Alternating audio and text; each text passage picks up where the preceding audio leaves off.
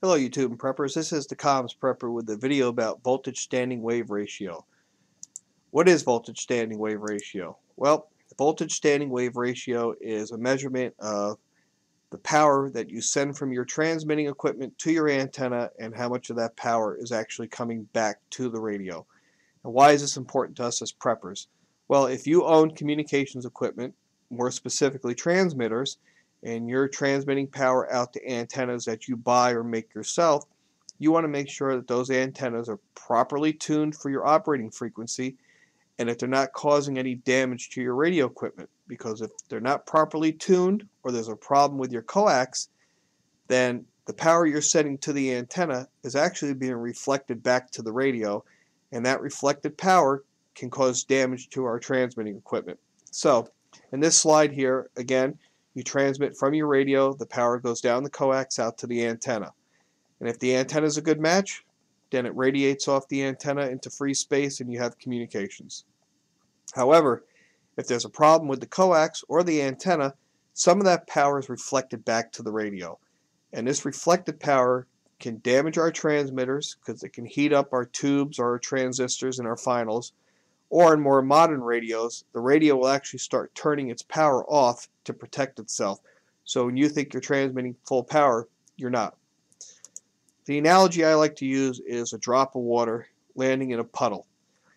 And where that drop of water impacts is actually where your transmitter is actually transmitting out through to the coax out to the antenna. And if everything works good, the radio waves leave your transistor or your tubes in your transmitter and go down to your coax, out to your antenna, and radiate out in into free space. And if everything's good, they keep going. However, if there's a problem, those waves ripple out, and in the instance of a, of a puddle, hit the edge or the shoreline and bounce back into the radio and cause heat. So when we make our antenna systems, our coax and our antennas, and do our installations, we want to make sure that all the power we're sending out to the antenna makes it to the antenna and gets radiated and none of that power or as little as possible comes back into the transmitter. Here's some screenshots from uh, some typical radio manuals. Up in the top it clearly states if the SWR ratio exceeds 2 to 1 it may damage your transmitter. This is why it's important to us as preppers to make sure if we have transmitters we're checking or SWR of our coax and antenna systems. Also, as I said earlier in the lower right hand corner, this example, modern radios that see a high SWR or high standing wave ratio will actually start to turn their power back automatically to protect the final transistors or the tubes. So you may think you're putting out 5 watts, 25 watts, or 100 watts, but if you have a bad antenna or coax and high SWR, it's going to dial that power back and you're not getting the full you're not experiencing the full capability of your equipment and you may not even know it's taken place. I'm not going to go too in depth on this formula but I just wanted to show you what the VSWR formula is and show you how it relates to a typical modern watt meter SWR meter. So here in this slide I have a screenshot of a typical cross needle watt meter slash VSWR meter and how these numbers relate to the formula. So in this slide we have 100 watts of forward power as highlighted in yellow and that's where you would plug it into the formula. We have 20 watts of reflected power which is where it shows it plugged into the formula. And then if you're ambitious and want to take the time to noodle out all the math, the SWR for what you're seeing here in this meter is 2.62 to 1 VSWR. Now the nice thing and the advantage of a dual needle, and that's the picture you're seeing here is a watt meter that has one needle for forward, one needle for reflective power, is rather than doing all this math, where the needles cross is actually the SWR, what you should be looking for. So on this slide, you can see the 100 watt needle for the forward power and the 20 watt needle for the reflective power cross just about at 2.62. So the SWR is kind of calculated out for you automatically. Where the needles cross, that's where your SWR is. Go back and check the specifications for your radio and if your radio says the antenna should be 2 to 1 or better, meaning less, then this would be an indication that you have a problem because the SWR for this antenna system that I'm emulating here is above 2 to 1, indicating there's a problem, and you'd want to look at that. You'd want to make sure the antenna was properly tuned or you, didn't have a bad piece of coax or something else that could be causing this problem. So this would be an indication that there's a problem with your system. So how do you check your SWR? What do you need to do this? Well, there's many makes and models out there, but a, a generic cross needle watt meter is not a bad thing to have. So you come out of your radio with the coax into the watt meter, and there's a port on the back that says transmitter, and then there's another port that says antenna. And every time you transmit, both needles will move. The forward power will show what's going to the antenna, and the reflected power will show you what's coming back. So I've highlighted here in yellow. You can see that forward power is going to be on the left hand side when you're transmitting and at the same time the other needle is going to come up and show you reflected power and where those needles cross is your SWR and typically you want to be at the 2 or below level with as little reflected power as possible. If you don't have a cross needle or you don't want one, uh, there's also other types of watt meters out here. This watt meter here is probably the best watt meter you can buy and it's the oldest. It's been out there forever, but very dependable. It's a Bird 43 watt meter, but unlike the cross needle, there's only one needle in this watt meter. So this can only measure power in one direction at a time. And how it does this is, I zoomed in a little bit here, is they have these plug-in elements or that you see here. And these elements are power specific and frequency specific, and they're removable. So you can buy different elements for different frequencies and different power. But you plug this element in and there's an arrow printed on it pointing in a direction either at the antenna or at the radio. And you can actually grab this element and twist it 180 degrees, clockwise or counterclockwise. It rotates in the socket. So what you're seeing here is it's pointing at the antenna so it's measuring power right now being sent to the antenna. The radio waves are coming up out of the radio into the watt meter, flowing through the element in the direction of the arrow up to the antenna. So when you're transmitting and the needle moves and the arrow is pointed at the antenna, you're measuring forward power. And you'd write this down on a piece of paper.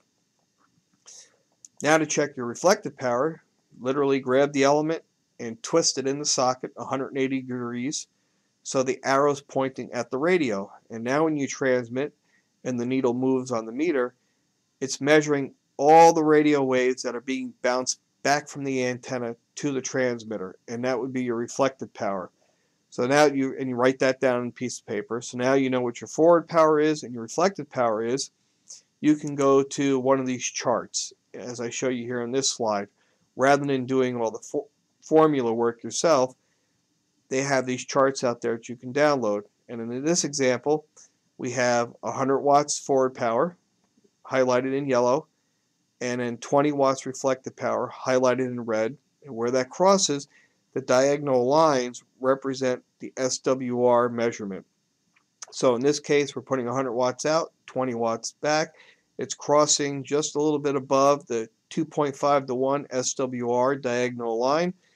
So the SWR is above 2.5 to 1, which again would indicate that there's a problem because we want to be below 2 to 1. So at 100 watts, if you're looking at the scale, following it across, at a minimum, you really shouldn't have more than 2 watts coming back to get down below 2 to 1. So this SWR is way too high. So I'm going to pause here from the PowerPoint portion of this and roll into the video demonstration portions of this video. Hello everybody and welcome to the demonstration portion of the video. Uh, I'm going to demonstrate VSWR with my MFJ883 VSWR meter uh, using my Yaesu FT60 dual band handheld radio and I have a couple of demonstration antennas here. We're first going to start off with a 50 ohm dummy load representing a perfect antenna. and this unit here will absorb all the power coming out of the radio so there should be no reflected power back and then I have a mobile antenna here that will demonstrate on a mag mount and then we'll go ahead and we'll try seeing what the SWR is on a frequency or two for the rubber antenna that actually came with the radio. So let me pause here and set up the dummy load. Okay everybody, I'm back. I've connected the dummy load to the back of the VSWR meter to the antenna port. And then the coax comes around to the handheld radio. So I'll set this up here so you can see it. And I'm going to go ahead and transmit with the handheld radio and you'll see the needle move. And there you go. So you have a little bit of reflective power coming back. Not much, and that could probably be coming from all my connectors if they're loose. But you have 4 watts of forward power, and that's correct for this radio. It's a 4 watt handheld in the UHF mode, 5 watt in the VHF mode, and we're putting out full power down to the antenna with very little coming back and that's a good match. That's a good antenna and it should be because it's a dummy load. So let me switch to the whip antenna. Okay, now we're back with the uh, whip antenna here and it's connected to the watt meter. So I'm going to go ahead and transmit here so you can actually see what its SWR is. This is Romeo 3 Charlie Uniform Check testing 1, 2, 3, 4, 5, 5, 4, 3, 2, 1. R3CU testing. So as you see, the characteristics of that whip antenna were pretty much uh, the same as the, the dummy load. It was a, a good match. The antenna is properly cut. We're getting maximum power down to the antenna and very little coming back. And that's what we want to see. That's, uh, that's the objective of getting an antenna cut for the right frequency. So let me show you that again. This is R3CU testing 1, 2, 3, 4, 5, 5, 4, 3, 2, 1. R3CU testing out. So that's a good match.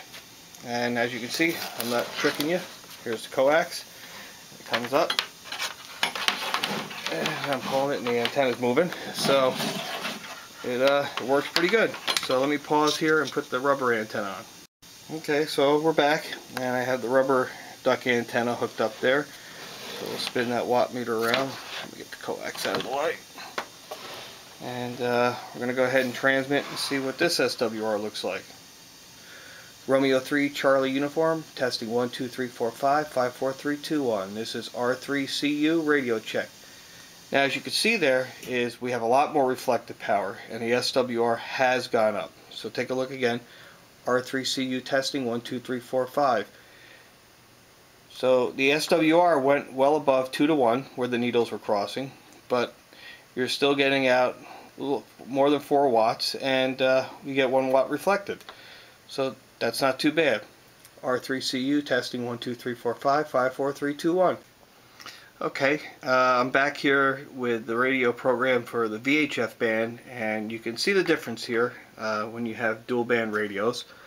R3CU radio check 1, 2, 3, 4, 5, 5, 4, 3, 2, 1. Now as you can see where those needles crossed, it's well above 3 to 1, so far above that it looks like the radio is actually cutting back its power to protect its amplifier. So where the antenna, the rubber antenna performed well up at the UHF band, as we got down to the bottom half of the VHF band, the characteristics of the antenna changed and its performance didn't match what we would like to see. So I'll show you this again. Romeo 3 Charlie Uniform, radio check 1, 2, 3, 4, 5, 5, 4, 3, 2, 1. R3CU out. So, there you have it. You can see at the low end, very high VSWR. You can see where the needles cross, what the forward power is and what the reflective power is. So, I hope this uh, video has been helpful to give you some ideas uh, on how you can look at your antenna systems and how to check it. And as always, uh, thank you for watching my videos and subscribing to my channel. This has been the Comms Prepper.